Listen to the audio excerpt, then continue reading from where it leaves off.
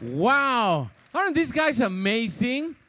It's impressive the energy they have and how hard they work. Well, did you enjoy the show?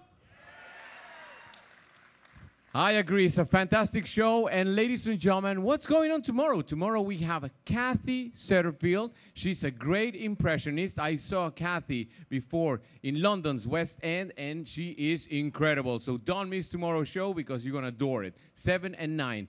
Now, tomorrow we have a great day in the beautiful island of Antigua. Yes.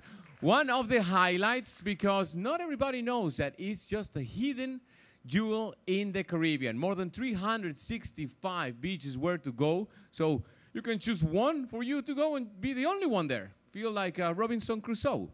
So, ladies and gentlemen, also important things to know is that tomorrow the gangway is going to be located on the forward of the ship. Yes, normally, you know, we take the gangway that is by the glass elevators in the middle of the ship. Well, tomorrow, for the only time, is going to be in the forward. So keep that in mind. Also, we be arriving at 8 a.m. and the departure is at 5 p.m. So please make sure by 4:45 you are back. If you are not back, make sure you talk to me because I know great hotels in uh, Antigua. Yes.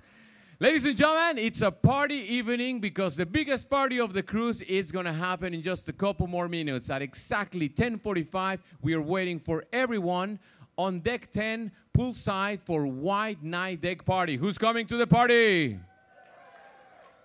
That's good. 45 of you are coming to the party. The rest of you, come. You're going to love it. So, ladies and gentlemen, the biggest party up there at 1045. We'll see you around the ship. Thank you very much. Have a great evening.